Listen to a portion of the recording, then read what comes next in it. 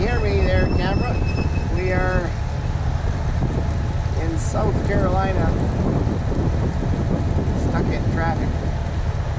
Google's telling me there's about a 13 minute delay, so that's not a big deal.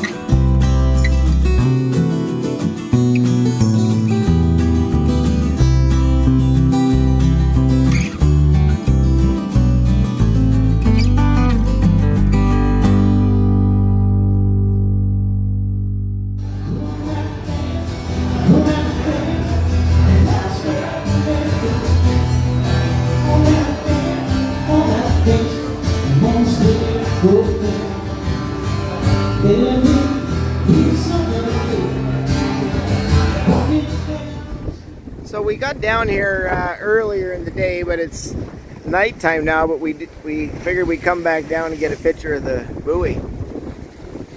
Anyway, all right, we're getting kind of wet. Big waves coming in here. All right.